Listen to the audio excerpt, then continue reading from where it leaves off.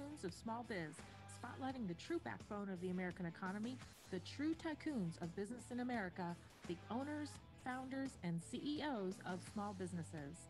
The show's hosts, Austin Peterson and Landon Mance, are registered representatives of Lincoln Financial Advisors Corporation, a broker dealer member SIPC, and registered investment advisor. The views expressed by your hosts, Austin and Landon, are not necessarily the views of Lincoln Financial Advisors. Let's lean in as Austin and Landon connect with this week's Tycoons. Good afternoon, Tycoons, and welcome to today's episode of Tycoons of Small Biz. I'm your host, Austin Peterson, here as always. And this is typically when I would introduce my co host, the best in the business, Landon Mance, but he has decided that it was more important to travel with his family from Southern California back to Vegas today during the uh, radio program. So he'll have to catch this one a little bit later. If this is the first time that you're listening to Tycoons of Small Biz, this is a radio program and a podcast by small business owners for small business owners. Landon and I are both uh, children of entrepreneurs and are business owners ourselves. We believe that the small business owner in this country is truly the backbone of the American economy. And we uh, put this show together a little over a year ago to highlight small businesses and what they're doing for their local economy, tell their stories, tell about their families, and give them an opportunity to have a platform to to really shine and uh, and share some good wisdom and nuggets with the rest of us uh, small business owners out there. And so, to that end, today we're excited to have Richard Bird with TYG or the Yellowstone Group commercial real estate brokerage firm out of uh, Lehi, Utah. Richard, welcome to the show. Thanks, Austin. Appreciate you having me. Yeah, you bet. So uh, we were talking a little bit before the show started, and uh, Richard and I have actually known each other for a little over 15 years. So this is a, a, unique opportunity with for me with the show to have somebody on that I that I know so well. We did lose contact there for a while. We both moved out of state. We lived in the same neighborhood for a while. Uh, we reconnected maybe three or four months ago, and uh, and became you know reacquainted and, and updated each other so i'm excited to, to have you on the show and tell a little bit about uh, you know what it is that you've been doing over the last 15 or so years but we typically start by having our entrepreneurs tell a little bit about themselves personally so if you don't mind just tell us a little bit about where you grew up tell us about your family uh, i know some of the background of course but our listeners don't. So the floor yeah. is yours. Thanks. I uh, i appreciate it. And it was it was great to reconnect with you. I mean it says something about it when you when you don't see somebody or talk to somebody for a while and you reconnect and you just you just keep it right off from where it was before. And that was that was awesome. And it's great to be here with you and and your uh, audience today. So yeah i grew up in idaho falls idaho. We kind of bounced back and forth between a, a couple different states. We lived in idaho and washington state we lived in utah and but i ultimately graduated from a high school in idaho falls idaho and then went to college in uh, provo utah byu and did a church mission in Port-au-Prince, Haiti, and uh, came back, graduated, and then right as soon as I graduated from college, I got into commercial real estate through a friend of mine uh, recommended that I speak to a guy named Adam Christofferson, who uh, was a, very instrumental really in my entire career, throughout my entire career, and he remains to this day a very good friend. So he got me into the business, and then I worked for that company uh, with him for almost 15 years, and uh, my my wife and I we had triplets in 2012, and it got to the point where I was at a stage in my career where either you know something had to give. It was either going to be my family or it was going to be work, and I'd come home at night and my wife was taking care of triplets, and just felt a little bit guilty, uh, a lot guilty actually, and you know just the work that she had to do every single day, and so uh, I was speaking with my brother who was a salesperson with a pharmaceutical company. Um, uh, we'd always kind of launched, uh, talked about the idea of launching a firm together. And so finally, uh, he was in a position where he could step aside. I was in a position where I could break away, and we launched our firm, TYG Commercial Real Estate. And really, the, the result of that was just the opportunity, or the, the, the impetus for that was the opportunity to work with family and to be able to spend more time to be there with my wife and kids and and it's been a great journey. We're now four years into it. Uh, we initially started our office in Idaho Falls, Idaho. I left my last firm. I was in Denver, Colorado, and then went back to Idaho Falls, Idaho, where where I grew up. But uh, I've worked in offices in Las Vegas, uh, Nevada. We ran offices in Salt Lake City, Boise, Idaho, and then worked as the national director for a publicly traded commercial real estate firm uh, as their basically you could technically call it kind of like their CEO of their self storage division, and they oversaw the sale of self storage facilities nationwide. And so they did when I was with them, they were doing about two billion dollars a year in transactions, and and that was great. It was a great opportunity for me to work on a national level and on a very uh, high level leadership, senior leadership position that really gave me a lot of great background um, and experience to launch my own firm. And so, you know, I'd be remiss to not mention uh, them and those people that um, sponsored me to get to where I am today. Very thankful for them. Yeah, it's a, it's a pretty common story to hear, you know, from entrepreneurs that kind of worked for another organization and then decided to go on their own. And obviously, when you pair that with a brother uh, that wants to get into business with you and you know have an opportunity to work as family, that that can be a good thing and that can be a bad thing. Obviously, yeah. it sounds like you guys have had a good relationship over the years, and, and you felt like it would be a good thing. But right. you know, let's fast forward four years. What what's it been like? How how has your relationship changed between you and your brother uh, now that you're business partners in addition to being brothers? Yeah, the crazy thing about you know he's older than I am. He's five years older than I am, and had a completely different background. And I think the the reason I felt we'd be a great fit is he came with a skill set from the pharmaceutical sales industry. He was very talented at sales, and I saw you know having overseen 300 investment brokers in my career, you kind of got a sense for who who has a knack for this. And I, I just knew all along that he'd be a great partner. And we really complement each other. I'm the youngest. Um, and, and with that comes, you know, certain personality traits. And as an older brother, uh, he's able to kind of rein some of that in. And it's been, it's been great. Like, I think if we were both exactly the same, I could see some conflict there. But I think we really complement each other, especially where we come from two different backgrounds.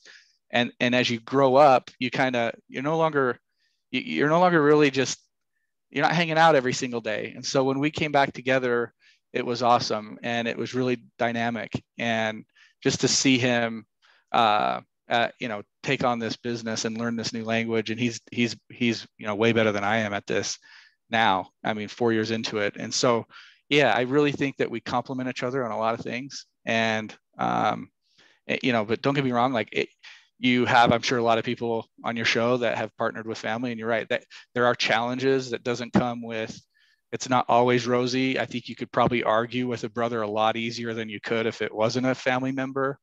And, you know, so you do, I, I, I we, we, we have to keep that in mind. And the nice thing for us though, is he is running our office in Idaho or, and lives in Idaho Falls. And I live in, in, in Utah now.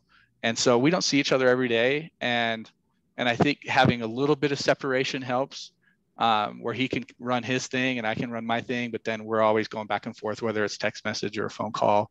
And it's to the point now where the company really is is self-sufficient, so that there's not a there's not really a lot of a lot of conflict or any reason to have conflict at this point. We're old enough that that's no longer an issue. I think early on, when when you're just starting it up and the finances are like, holy cow, what did we do? Like we both just left careers, uh, you know, long careers where you're like, man, um, you're getting down to your last pennies, eat both of you.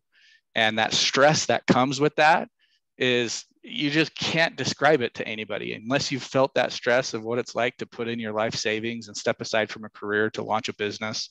Um, you know, that's very stressful, but then to couple that with a family member and knowing that his wife and kids who are you know my family as well. So you're carrying that burden and i know he was carrying that burden about my wife and kids. Um, it just adds and multiplies this stress effect. And and i could see why that would be hard on most relationships. And you know fortunately i have a really good brother. He's been fantastic and i couldn't ask for a better partner. Yeah. No i think it's so a couple things that stick out to me in that. So I, a few weeks ago we had a husband and wife team on um, who also then run the business with another husband and wife team. But if I remember wow. right, they married sisters. Like the two guys married sisters, and so wow.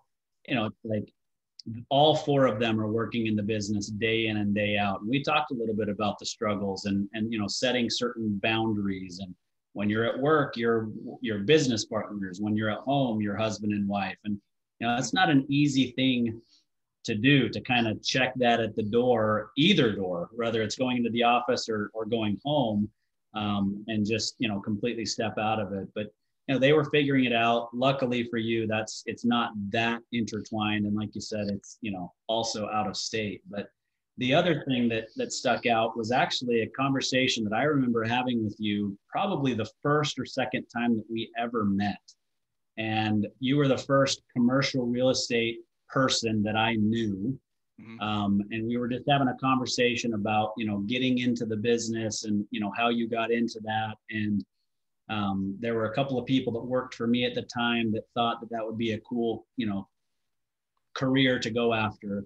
And I remember very vividly you saying, well, it can be a great career, but if they want to go into this, they need to go in with two to three years of expenses covered, meaning that they can live without making a dime for two to three years, yeah. which is also very similar to what I do for a living as well, right? But yeah, talk talk a little bit about that. I mean, today you've got tell us how many agents you have working for yeah. you today, and and how that is for them to kind of jump in and start at zero. Yeah, that's great. You remember that because it's it's so true. I and I had to do it twice, right? So when I came out of college, you go and you and you go to college with the expectations that you're going to come out and you're going to have this sweet job and you're going to have this massive income that you're not used to having and having insurance. And and I remember the person that encouraged me to do this he told me exactly what I told you. He said you're going to go 2 or 3 years and, and basically just not make a penny. And but if you're the hardest working person in that office in 2 to 3 years you'll make more money than anybody you know. And but you know with that the hardest working person in office what did, wasn't easy. Um, it's the same reason that athletes are successful. Usually it's the hardest working one and it's very similar in our business. And so i did it right out of college at once and i think my, i didn't close my first deal until i'd been in the business almost 18 months. And so you i mean my credit i'd racked up all kinds of credit cards. Fortunately i was single at the time. And and just had just a massive amounts of debt. And you know, it really does take two or three years by the time you pay that off and kind of get your feet under you. And so to you know to to leave that career, I had joined the management team of, of, of another firm and and left the production side of things and worked in senior leadership, senior management. And so had a very nice. We went public, had a nice, very nice income, and and to step away from really tenure and um, and seniority in a firm where I knew the rest of my life I was going to be financially set had I stayed with them. And it really on paper didn't make a lot of sense to say, I'm going to give up all of this career, everything I've built, all of this seniority with the firm that I love and a company that I love and and start all over again. It was absolutely crazy. And I'm sure they, th- I know they thought the same thing. In fact, when I told them I was leaving, they, they couldn't believe it. It was just shock. And so uh, it was it was a little bit crazy and dumb and it, on paper but you know you got you got to look at that family component. When i came home at night the, the relationships that mattered and not that my work relationships didn't matter before but the really the, the most important relationship and is my wife and my kids. And that was the most important that i that i make that work. And so we had a lot of discussion my wife and i about this is going to take some time to step back and go and not make any money. And and we were the difference this time around, not only did we have to drum up new business, we had to create an entirely new company. And so it was six to eight months just to get the infrastructure in place before we could even really start selling and getting out there and representing you know properties and, and helping our clients. And so it was you know it, which you'd think man this guy's been in the business 15 years. He's overseen 300 agents and managed and hired and trained, you think that he'd come out and in six months could get to a deal. And you know, even somebody with that kind of experience and tenure and clients, we were still another 18 months before we really got some traction because we had to set up the company and, and get rolling again. And so, yeah, that is the hardest part. I, like your business, the hardest part for most people is understanding that, yeah, you are sacrificing everything. I mean, I had a partner who, when he got into the business, he he put a, a second mortgage on his house and and lived on it. And you know, he took on the debt to go do this, and he's still in the business, and he's just uh, he's very successful uh, here in Utah. And, and he's no longer doing commercial real estate, but he's still in the industry, and he's one of the you know most well-known guys around. It's just awesome. And I, I look at somebody like that that was willing to take that kind of jump, that kind of sacrifice of believing in himself enough to go take out a second mortgage on his house. And I don't recommend that for everyone. Like some people, it's not, it's, it's, it goes back to that advice of that I was given. If you're the hardest working person and you know you're going to be the hardest working person, then a, then a risk like that isn't as risky. But if typically you're not the hardest working person or you don't, you, you don't have that confidence that you've had that in the past, then yeah, this is, you're right. This could, this is, this can be really scary. Yeah. Yeah. I mean, that's definitely, you know, all in. I mean, you're, you're betting 100% on yourself. You don't make it, you don't have the money to pay that mortgage back. You lose that house, your credit's, you know, ruined for a while.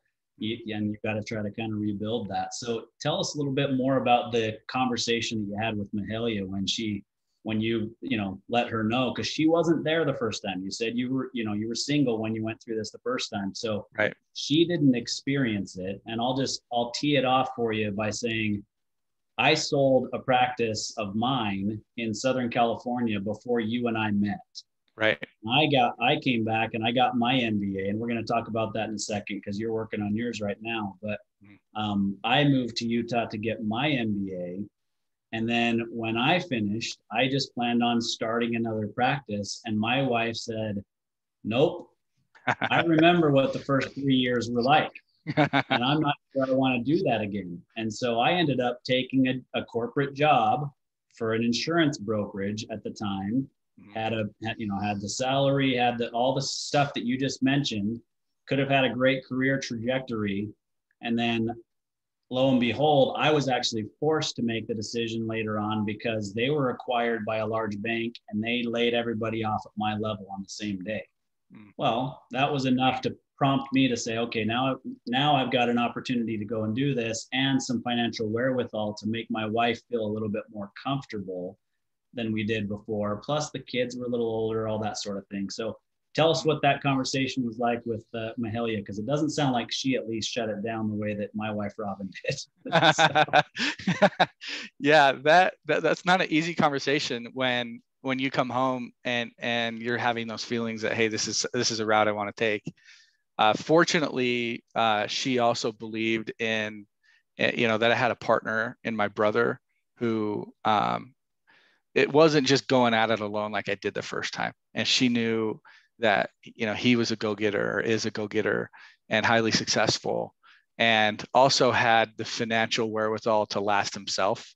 Because right had you got if you get into a partnership with somebody and and you make those types of sacrifices and they're not in a position finance same position financially as you that that could create some conflict. And so we knew that he he had the ability to last um, and and in fact he was in a better position than we were. And so there was that but also our kids were four years old. And i think we we had to look at it as okay if we're going to do this we need to do this now because as they get older it's going to be harder because they're going to be in school. Uh, they're going to have friends that they're not going to want to leave. And so there was a very small window where this worked for our family. We don't have any other kids outside of the triplets. And and so she was of course uh, and you know, and then on top of that, moving from Denver, Colorado, which is one of the most amazing cities in the United States, where we'd lived twice. It's where we lived when we first got married before we we moved to Highland, and um, we loved Denver. And I would say it was probably the the idea of leaving Denver to go to Idaho Falls, where my family was, was probably more intimidating to her than anything, right? So she had had me all to herself, and and we were able to build a relationship without having family around um, taking away from that that chance we had to build our relationship together. And so i'm i think more than anything the concern was wait we're going to live a mile from your mom. We're going to live two blocks from your brother. Um, all of your friends you're going to leave me and hang out with everybody and you're just going to leave us in idaho while you go have this wonderful experience with all of your friends and family and just leave, leave me with the triplets like you do at work I, I think that was the bigger conversation not so much the financial aspect because we had always tried to live uh, you know light. We we don't try to live outside of our means and try to have a nice nest egg. And so we knew that we could last.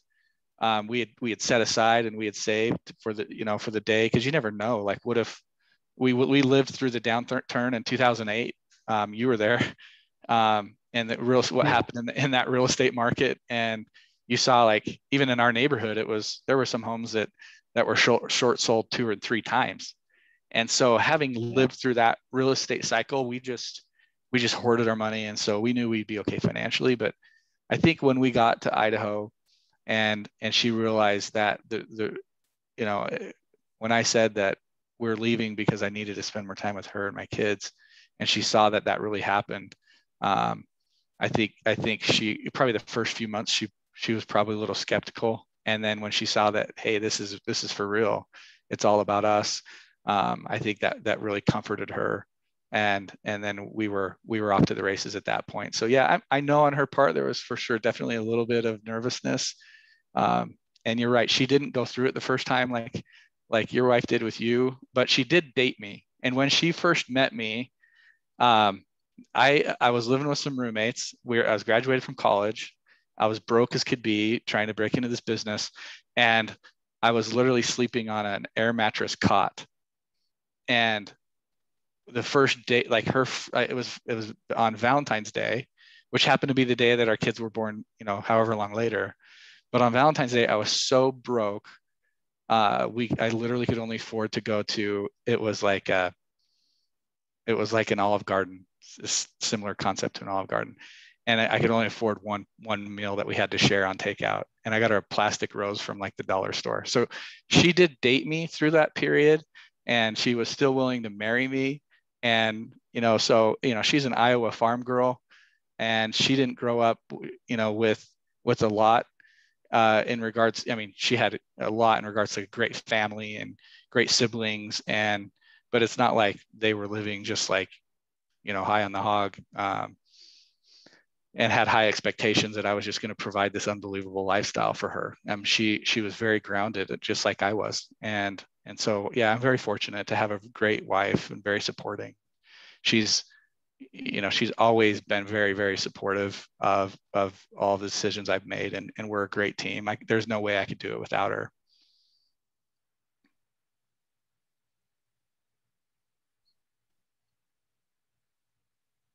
So. So did I, did I lose you or did you get choked up there for a minute? Because I got no, there was no way, and then I lost you. Yeah, you must have lost me a little bit. Uh, I was just saying, yeah, there's no way that I could have done it without without a very supportive wife. And yeah, let's chalk that up to I got choked up. Hopefully she's listening right now. And yeah, I, I was choking yeah. right.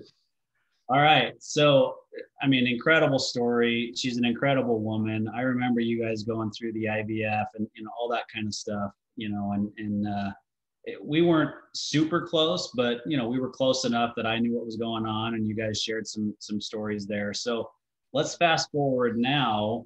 I mean, you quit the the commercial job or the the corporate job to have more time to spend with your family, but now you've built this, you know, started a brand new business. You're raising triplets, and you're getting an MBA, and you just got done telling me you did all of that while spending more time with your family than you did before. So, for all of those listeners out there, what's the secret?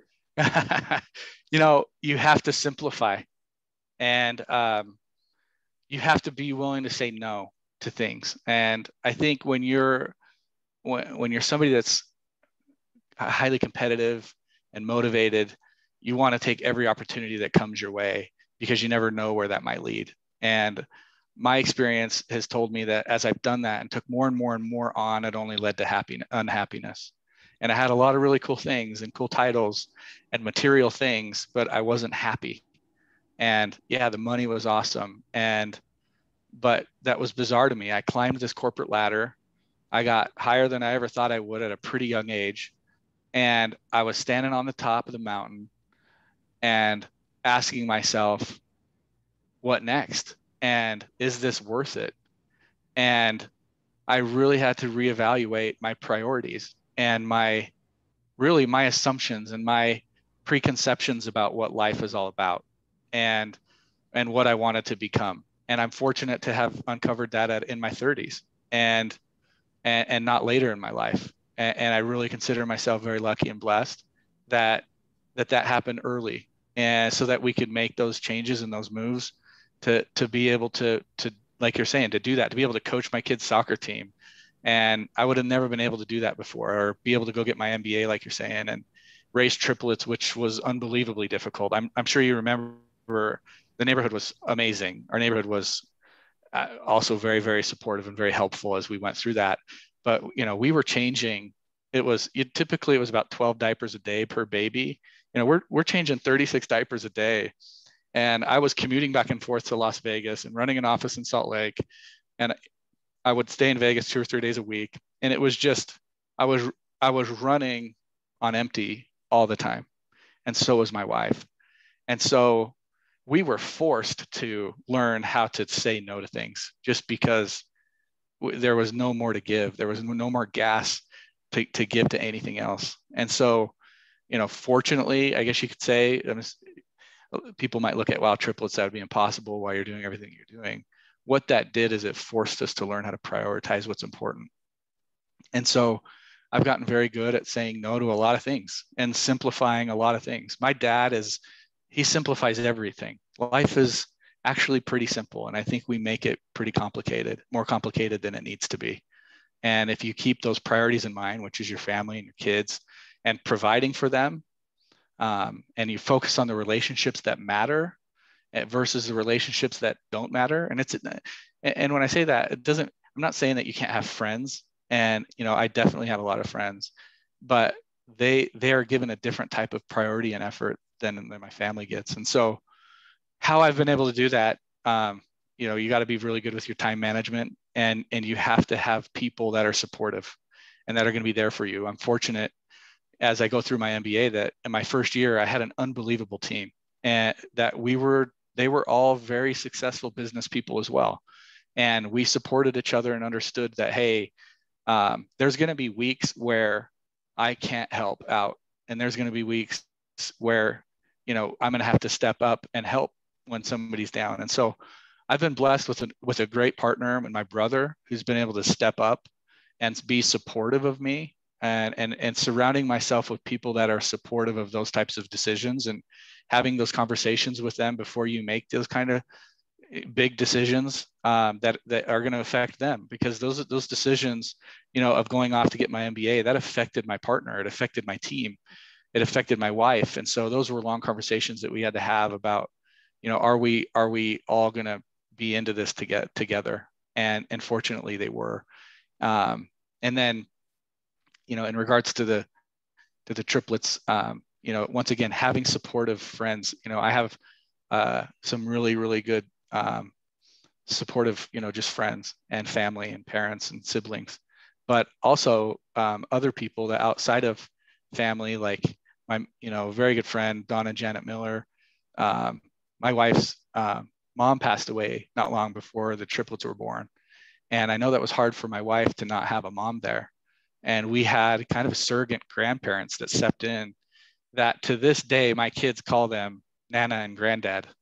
And they've been very supportive of, of us. And so i think being open and vulnerable and being willing to say i need help and that i'm trying to do something that's important to me and asking for help people have stepped up and they've been there for us and and and i think it's important to recognize them and thank them for everything that they've done to, to allow me to be able to do all this all this stuff that that to really are to accomplish my dreams. Um, but in regards to asked the question, how big is our company now? So because of that, um, that support's there. I have a, an excellent partner. And then there's eight of us in the company now. We are growing. Um, we have two offices, one in Idaho, one in uh, Utah. We also have an agent that's based in Montana, but he technically works out of our Idaho office. Um, and then we do business also in Colorado and Wyoming as well. Um, and we hired a loan originator actually out of Phoenix, um, Steve Lowell. Um, his son Wyatt Lowell was a, uh, all-state basketball player down there. It's been fun to get to know him. Uh, and he, he now plays up here at one of the universities here in Utah. And um, I have agents that have worked for me that are there in Phoenix as well. And, and we have clients that own in that Phoenix market as well. So like good to go gas stations, they're a very good client of ours. And we appreciate, you know, working with them and, and are familiar with, with that market and working all the Southwest. The thing about commercial real estate is a lot, especially when you're an investment, you tend to work a lot of states. And, you know, right now we're not licensed in Arizona, but we do have a lot of clients that do deals there. And so we'll co-op a deal or we'll send a deal to an agent in that market uh, to help us out. And in fact, there's a guy that just moved there. You talk about great sponsors in your life. Um, you know, his name's Bob Osbrink. Uh, one of my good friends just barely moved there to Phoenix, and I know that he has um, his son that's there as well. And uh, he's he's just been also one of those people that's that's been very supportive of us. And when those people speak highly of you and they get your name out there and they're there to support you, I mean, it means the it means the world. And and I think it's important too that you recognize those people, but also you give back. Like you're not the one that's always sucking out of everyone else. That you recognize, hey, all of these people have helped us get where we are. That I've tried to do everything in my power to. I hope there are some people that if they were to come on a on a show someday and they say, hey, Richard Bird was a sponsor of me and he helped me out, and and that's been an important priority of mine. Is especially the team and the agents that we have. Um, that work for us. It's a big part of, of our firm is making sure that if we take care of our agents, they're going to take care of our clients. And if our clients are happy, they're going to continually come back to us. And so we've really, you know, hopefully the theme, I guess all of this as I speak through it, the theme of really our approach and my personal approach is that relationships matter. Um, and you have to, you know, sponsor other people and be there to help other people um, because that's that's how you you're successful in life. And and that's how we've been able to do it. That's how, and I say we because it really is a we effort. It's not it's not an I or a me. Uh, it's it's a we, very collective effort of of a lot of people that have been able to help me do all these things.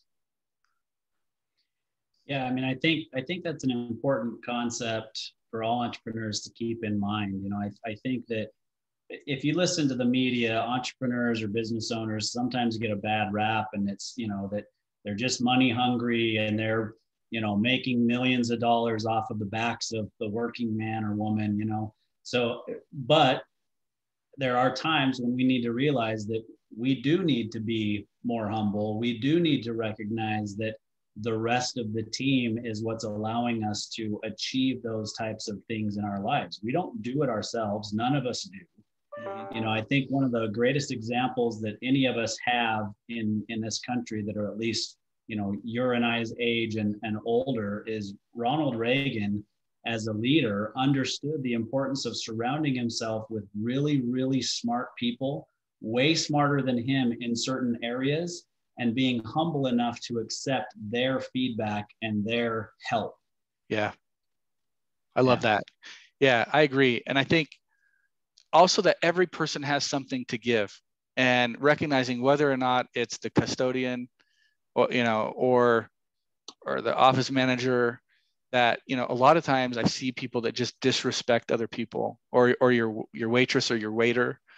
Um, you know every single person um, has something to give and i and i and i agree with you. And if you if you let them give that and and and share that what they have to give they're going to shine a lot more they're going to be happier and, and, focusing on people's strengths and talents. So, but yeah, I, I love what you said about Ronald Reagan. I, I, I totally agree with you that you you surround yourself with great people, but then on top of that, I think you got to recognize that every single person in the room has something to give, and that's benefited me along the way.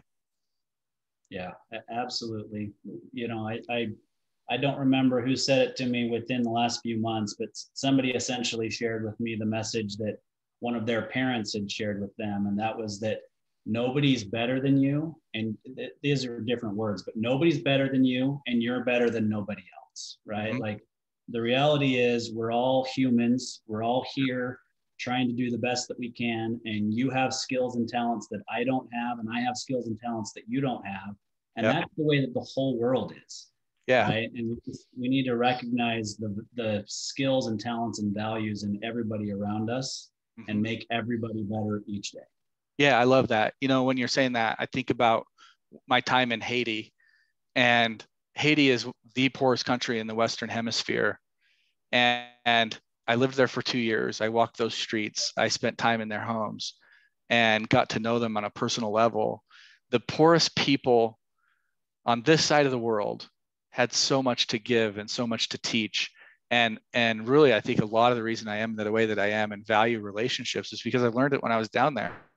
When you walked into a neighborhood or you walked into a community and let's say there's a whole bunch of houses that are overlooking you know maybe a small open area and there might be i don't know 20 or 30 people that live you know in houses that look out into this if you walked into that neighborhood and you didn't say hi to everyone that was offensive and and I and it took me a while to learn that. It took me getting chewed out from a couple of people saying, "You didn't say hi to me. You didn't acknowledge me."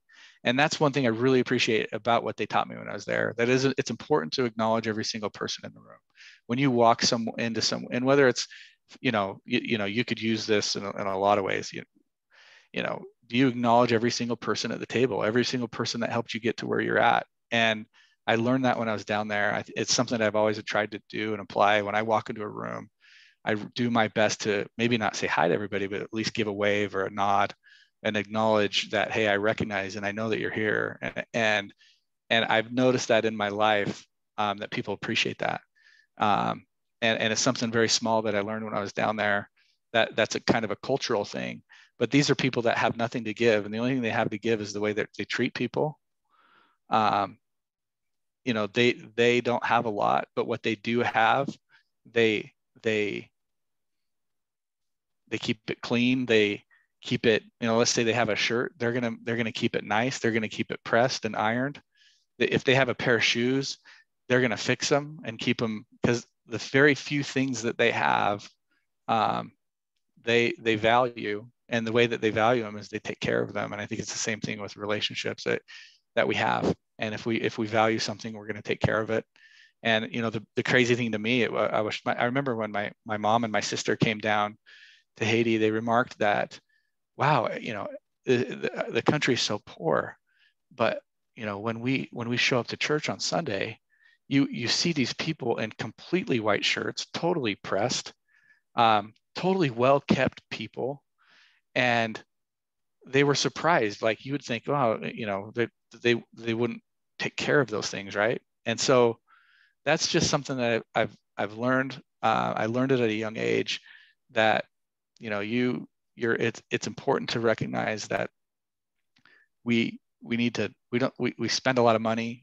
here in the united states we we don't value um, things at the same level other pe- places in the world do and you know i've tried to do my best to to to not live um, in a way that that would go against everything that i learned down there i learned so much from those people and and I've been able to keep a lot of great relationships and I've been able to go back. It's so sad to see what's going on down there right now. Um, but I, but one thing that it is nice as a small business owner is I'm now in a position where I can direct aid eh, or direct projects or be involved and step aside and, and be, uh, be able to give back, um, especially somewhere like Haiti that has, you know, so much to, so much need. Yeah, yeah, I, I'm I'm with you 100%. You know, it, it, it's similar to the way that it was for me, except I, I served a mission as well in Belgium and France. So, you know, you spoke Haitian Creole, you can get by in French, I'm sure. I could get by in Haiti because enough of them speak enough French that you know I could get around. But the the greeting of people was a new thing for me. You know, I, I would walk into a church or some sort of you know apartment or office or whatever. And as soon as somebody walks in they literally do. They go around and they greet every single person in that room mm-hmm. right? And in belgium and france it's with you know a bisou a kiss on the on the cheek you know and right. and that was just the that's the greeting. That's the way that everybody greeted each other but they did every single person. And if you skipped somebody by accident you were going to hear about it. They, they felt offended you know? So mm-hmm it's uh, that's really cool. So we should connect offline about the Haiti uh, thing as well, just because I'd love to go down and spend some time working down yeah. there. Like I said, I could get by with the French and, and do some, oh, yeah. some good down there. So, yeah, yeah, absolutely. You, would be just fine down there. In fact, they'd love to speak French. Um, I slaughter the French, so I stick to the Creole. But yeah, you, you would be just fine. If obviously as things need to settle down and and they need to get through a new election, especially after their president was just assassinated. Um, but I imagine as things get a little bit more stable there, uh, yeah, let's do some stuff. Uh, and there's there's connections that I have down there that would make it organized and efficient. And we are rallying, getting together some of the guys that I know and and, and gals and companies uh, that want to be a part of that. So absolutely, that's something we should talk about. Yeah, very cool. All right, so let's jump back to the team that works with you now and or you know other brokers that you worked with uh, in the past what what are the traits that you see in those people that make them as successful as they are? Yeah. Yeah it's a, it's a uh, it's interesting to see some people you'd think and you meet these certain personalities and you're like there's no way that that person would be successful at this and somehow they are. And there's really no one size fits all uh, in regards to personality types um, but but it really is work ethic and ability to be self-motivated which uh, you know they're all independent contractors and i have to trust my team and they have they have to know that i trust them to the level that i trust them that they're going to want to provide for their families too and so I give them a fairly decent leash. The best agents want that leash. I, I tend to struggle with the, the people that need more babysitting and, and I, I'm there to provide it. I've done it a lot throughout my career. Um, but typically my experience has been the agents that want it are that and need it are usually the ones that don't last. Um, the most successful ones are, are very independent and they push against uh, they push against management and leadership and being managed and the idea of somebody manage them just makes them itch and so you know they they because they they can they know they can do it themselves and so what i learned as a, as a manager in, in the position of trying to support these these top producing agents is that my job as an owner in the company and and uh, in the past as in senior management my job was to remove roadblocks for those people right? I didn't need to manage them every single day, but I had to have enough foresight to say, okay, this is something that's going to get in the way of them producing. And it might mean they need another staff person. So, how can we help them manage their staff better? Um, it might mean that they're, they're doing a client event and they've never done a client event before. So, you get the people that are good at that and, and you help them, you know, manage this client event, you know, so that they're not doing it and and focusing and let them be good at what they're good at and taking away the things that that waste their time and and i look at it as a dollar per hour um, formula.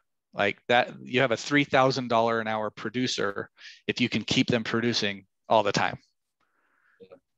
Or and if they're spending their time doing you know the task of a 25 or 30 dollar an hour task um, and those are important tasks and those are important positions and people that fulfill those um, but let the people that are good at those tasks do those tasks.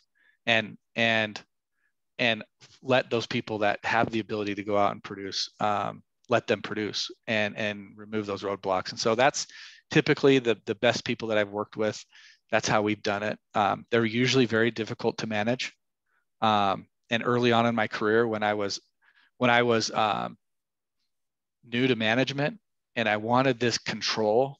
Like I'm the manager, I got to be in control. Um, when I managed that way, I was always frustrated, and, and and I think my team was frustrated. They didn't like it. It was just we were all. It was just this conflict that existed. And you know, when you're with top producing salespeople in any organization, um, typically they're going to be the ones that point out the inefficiencies in your company they're going to be the ones that come to you and say, "Hey, we're you guys are really bad at this." And if you don't listen to them, then they're going to leave. They're going to go to another organization. Um, and so I found that management actually got a lot easier when I decided to let them um, be them and do their business how it works for them. And if I could be there to support them and guide them the best that I could, um, and and to be an ally versus you know somebody that's going to come in and and and make life difficult for them and so that's how in my in my career i i feel like I, I did pretty well at all the offices that i've overseen we've had tremendous growth in in every position that i've been in uh, from all the different offices and organizations that I've been a part of and in a management position. And, and a lot of it came from, and, and that, and not even just along with the top producing salespeople, you know, what about the, admin, the administrative staff, letting them be good at what they're good at and letting them shine at the things they like to do. And if that means reorganize, reorganizing things so that one staff, staff person does something that might be a little different than their job description, but they're good at it, let's let them do it. And, and you know let somebody else on the team do something that they're good at and they want to do. I think we get you know so na- narrow focused on what a job description is that we don't allow people to be creative and to to harness what they like doing. And when when you let people do what they enjoy enjoy doing they're going to work a lot harder and they're going to have more fun and they're going to give back and the clients are going to feel it. And as a result that's how we've been able to eh, you know in a lot of situations 10x revenues and um, take non-productive offices and turn them into top producing offices and take very mediocre and average agents and turning them turning them into top agents nationally and uh, and and in their markets. Uh, I've had the opportunity in a lot of the markets I've worked in to hire people out of college and turn them into the top producing investment sales agents in the cities that they live in across any company and and it really came off of just allowing them to be good at what they're good at and not every agent is good at all the every single thing that they need to be good at. And so you just got to find out what are they good at, what are they not good at, and how can I help them at least cover up their their holes in their game so that it's not as not as a big of an issue. And it's been a great, it's been very rewarding for me to work with people and to work with these independent contractors, which are really all small businesses, and helping them identify um, what it is that they're good at and what it is that they're passionate about, what it is that drives them, and help them achieve not just financial goals, but life goals. And it's awesome to have somebody come back to you and they give you that hug or they, they credit you with um, changing their life or accomplishing a goal that they never thought that they would have accomplished. And when you get those hugs and you get those thank yous, it makes it all worth it because as you know, management and senior leadership, it isn't always fun. You're you're getting pushed from all sides and you're the one that's trying to keep it all together and and keep things flowing smoothly. But it's been those are the most rewarding moments uh, when people get to a certain level. And not all of them do. Some people never take the time to turn back and, and thank those that pushed them along the way, but some of them do, and and you never forget those moments when they do. Those are great, great moments. Yeah, yeah. I mean, I think if if I were to sum up, you know, what you just talked about specifically on their side, right? So, I mean, what you have to do as an owner or a manager is is different than what they have to do to make themselves successful they've got to not only be self-motivated mm-hmm. right because you you shouldn't as a business owner you shouldn't have to motivate somebody that you're not paying a salary to like if right. they don't go out and do something they're not going to make any money right right so yeah they, they've got to be self-motivated first of all but then the second part of that that i heard is that they've also got to be self-aware they've got to know what they're good at and what they're not good at.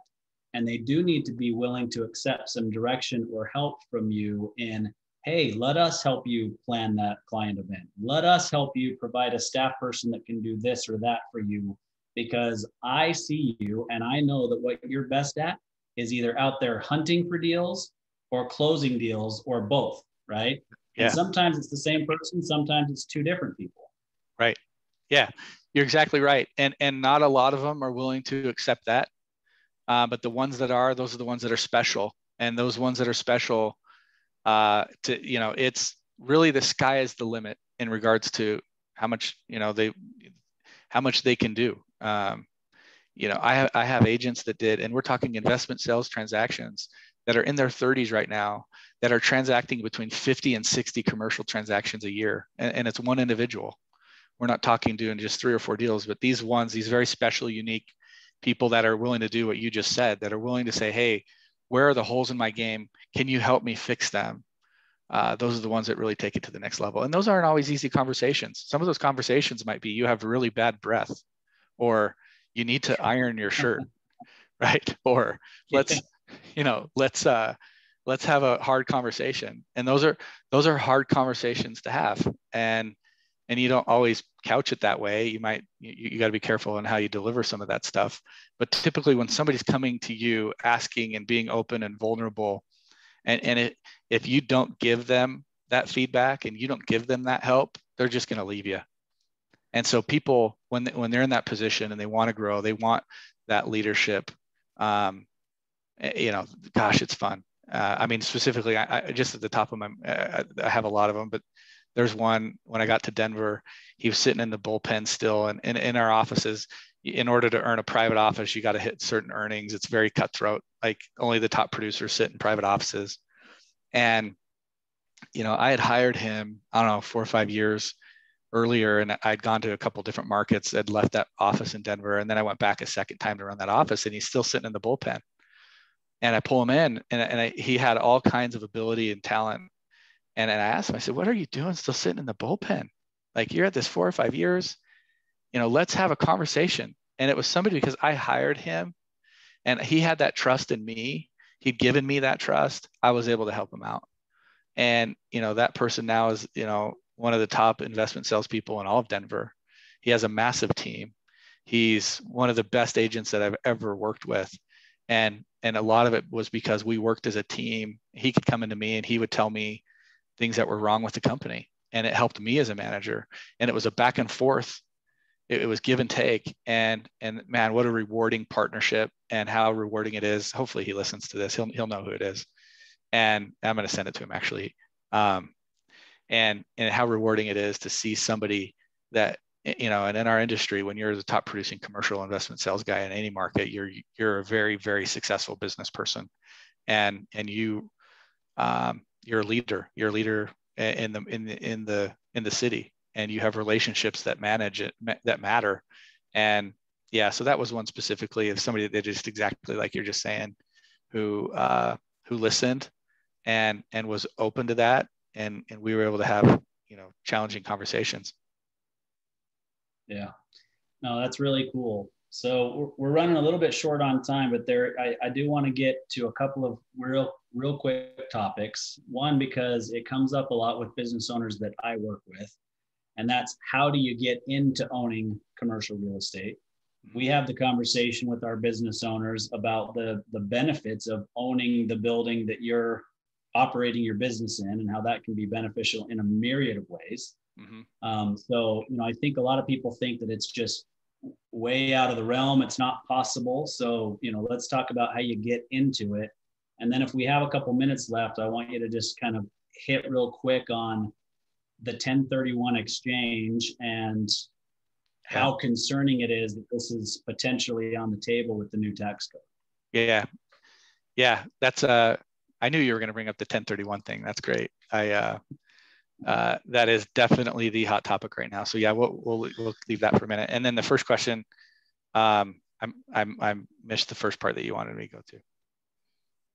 Just, just basics on how somebody on how to get gets in. into commercial real estate. Yeah. Yeah. So if you're a small business owner, my opinion is that I think it's great, and you want to put your company. You got to do the analysis of whether you continue leasing or whether you buy.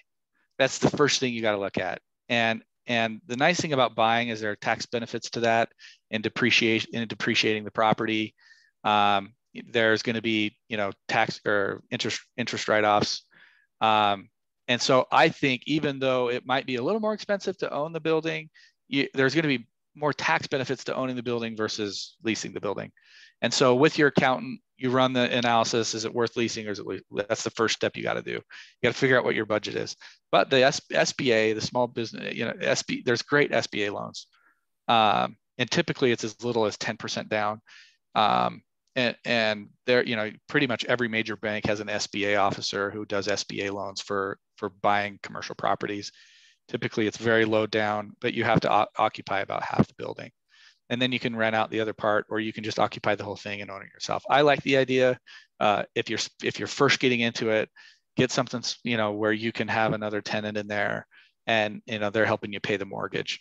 And I think that's a great option. And getting into that that SBA loan, uh, it's not always easy to get into an SBA loan. The loans are typically harder to, they take longer you're gonna they're gonna dig into your company a lot more than than a, than a normal loan would but but i think that's the great way to go because most new companies and most companies that are first trying to get into real estate um, they they need to hold on to their cash.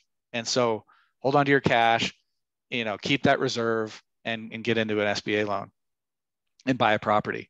If you have a bunch of cash or you could pay cash for a building, then do that. Or you can put 30 or 40% down, then just go get a normal conventional loan. And there, you know, you know, talk to talk to four or five of the local banks, get get in, get in touch with a, a mortgage broker. Like we have one in house, a lot of commercial real estate firms do, where they have you know different loan programs available from different types of lending entities. And so making sure that you're working with professionals as well. Don't go it alone. It's the same thing. Like if you're a specialist in your business, it's like I don't do certain plumbing things at my house, even though I probably could. I could look it up at YouTube. I just don't do it. It's the same thing with real estate. Why don't go it alone? Go with an expert that know what ta- knows what they're talking about. They're going to save you a lot of money. And you know, a lot of people feel like when they sell their property, oh, I don't want to pay a real estate agent. You know, even when I sell my house, I, I list it with a real estate agent and I'm licensed um, because I do commercial real estate. I have no idea what residential agents even do. Um, and so you probably noticed that when we moved, I listed it with an agent. And so I, I think that's really important is make sure you're working with experts, that you're working with good accountants, that you're working with a good financial planner, and that you get these advisors talking and, and even with each other and a good attorney and making sure that you're doing the right thing for you and your company and setting it up correctly. Um, that's the first thing. That's to me the easiest thing. If you're a small business owner, just get into a property that you can get into yourself. And then after that, after a few years, that you know, even down the road, that that building's going to appreciate, and maybe you you rent out that space and you get a new loan on it, and you're making a return on investment. You go get into another building. Typically, what I see is people start that way, and then they just continue to grow into other buildings. They pull out equity or they do a cash out refinance. You don't have to pay. You don't have to pay taxes on on on a cash out refinance. So I think that's better than selling the building and paying taxes. And, and that leads us kind of into 1031 exchanges. Um, what is proposed on the table?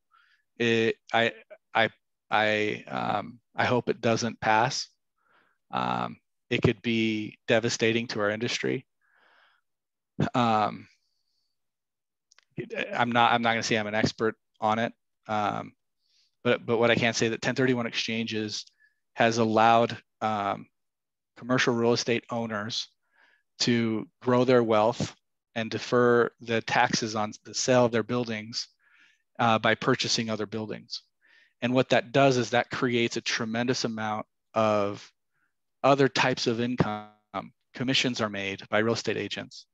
Um, you know, you have the title companies, you have the new management companies, you have new insurance deals that are run. And so it creates um, it creates jobs and by by having this 1031 exchange um, law in place by taxing people and forcing them to pay taxes on sale um, it's kind of like pulling the rug from from under the system a system that's been in place for a very long time and that could cause a lot of a lot of people a lot of financial distress. Um, it affects it affects, as you know, um, uh, estate planning. Um, it affects everything that I can imagine about what happens in our business. And what will end up happening, my guess is if it does pass, is fewer properties will sell.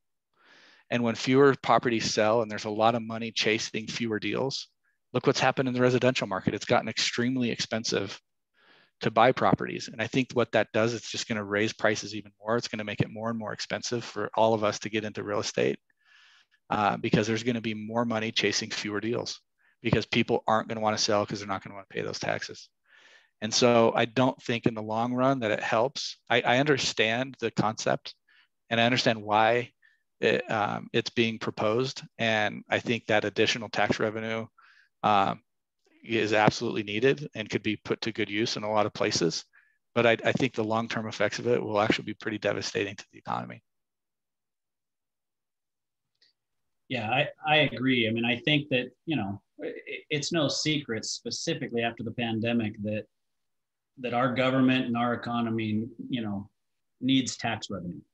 We, we've got we've taken on a whole lot of debt, but you hit the nail on the head that even though we need the tax revenue, that doesn't necessarily mean that this is the right place to get it. Mm-hmm. right? They're not they're not adding up all of the other stuff that you mentioned, all of the transactions that are that are generated and the, the income taxes that are paid on those types of things and the corporate income taxes, the individual income taxes, all of that far outweighs the taxes that will be generated by this because what'll happen is they just won't sell. The owners yep. won't sell the properties because they don't want to pay the taxes. Yeah. And so then you don't generate the tax revenue anyway. You, you right. just got to, from a business standpoint, in my opinion, there's a better way to generate tax revenue for the overall economy. Right. I totally agree. And you think about some of the states and cities that have, you know, th- their own taxes on sale. Um, eh, that's revenue that's going to be lost to those states as well. Even if it's a 1031 exchange, when properties are sold, there's there's still sometimes a, a local tax that needs to be paid. You know, that's revenue that's going to dry up and it, on a lot of different levels, I think they're really missing uh, the importance of having a high level of transaction velocity. And so I, I, personally don't think that there's any way that this passes. I really don't. I don't know how. I think it's just way too disruptive to literally pulling the rug out from under a lot of people who've been doing 1031 exchanges for decades.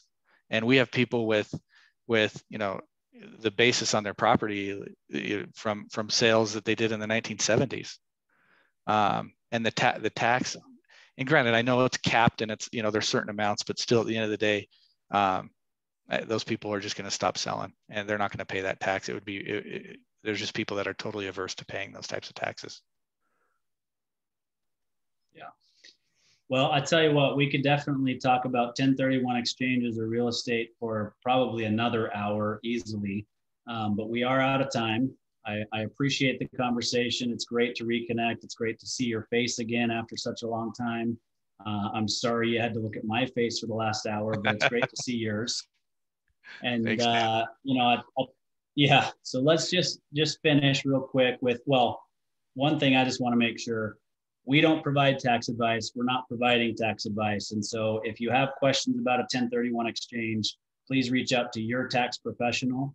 But what this does highlight is the importance of doing tax planning on a proactive basis with your tax professional, because there's always things that are being proposed and that change in the tax code. You should always be tax planning specifically as a business owner. Um, but I'm going to give you the final word, Richard. Just tell us how to track you down. If anybody's interested in commercial real estate in the, in the Southwestern United States, how do they get a hold of you? Yeah, I appreciate it. Yeah, uh, yeah. Feel free. Anybody call. We're uh, happy to. If I if I can't work with you because of a licensing issue with the state, I'll put you in touch with somebody that I know. I I know good brokers in pretty much every state in the country. Uh, you can reach us on our website at www.tygcre.com or send me an email at rbird, B-I-R-D, at tygcre.com. Perfect. Well, thanks so much for being here, Richard. It's been awesome. Appreciate it, Austin. Great to see you again. I look forward to talking soon. Yeah.